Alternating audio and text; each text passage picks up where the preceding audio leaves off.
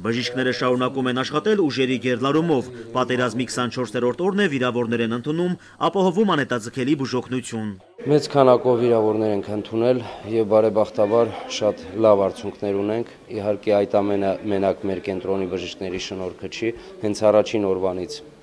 համալրվել ենք մեծ թիվով ինչպես Հայաստանից, այնպես էլ Ռուսաստանից, Եվրոպայից տարբեր բարձր մակարդակի բժիշկների մասնակցությունը միանշանակ մեծ օգնություն է բերել մեզ եւ այդ մեծ թիմային աշխատանքը բնականաբար տվել է իր նաեւ լավ արդյունքները։ Ռազմական գործողությունների առաջին օրվանից կենտրոնը համալրվել է մասնագետներով, անհրաժեշտ սարքավորումներով ու դեղորայքով։ Վարդենիսում գործն ավարտելով Աղասի Սահակյանը շտապել է Արցախ։ Ամեն մեկս պետք է օգնենք, որ մեր զինվորները, ով որ մեզ պահում է, որ հանկարծ զինվորը չնեղվի,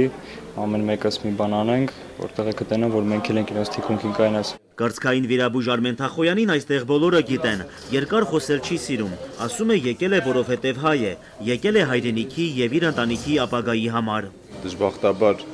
90-ականներին ես տեղ չեմ եղել, Հայաստանում չեմ եղել ու համարում եմ, որ իմ պարտքն է հիմա ստեղ լինելը, հիմա ստեղ